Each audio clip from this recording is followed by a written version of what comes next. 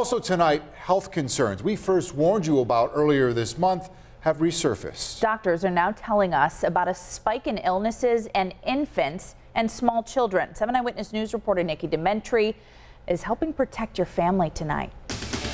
At Oishei Children's Hospital, RSV has hit us pretty hard this year. Doctors say there's a spike in respiratory syncytial virus, also known as RSV, a highly contagious and common respiratory virus that can be detrimental to young children and infants. We're breaking records in our emergency room and our pediatric ICU. Generally, doctors say there's upwards of 80 children admitted with RSV during this time of year. As of Monday, there were 200, with more than 60 in the ICU since November. We've uh, opened an additional area uh, for the pediatric ICU ICU for six more beds, as well as overflow areas in the emergency room. Every year, there's a different strain, but no vaccine. In older kids and adults, the virus shows as the common cold, but for children under one, it can turn into viral pneumonia, sometimes requiring oxygen and IV fluids. RSV usually will hit in December uh, and January. We actually had our first case of RSV this year in September. Symptoms include a significant cough, wheezing, trouble breathing, and a lack of appetite. If you notice that they're breathing fast, if you notice that they're having difficulty difficulty breathing,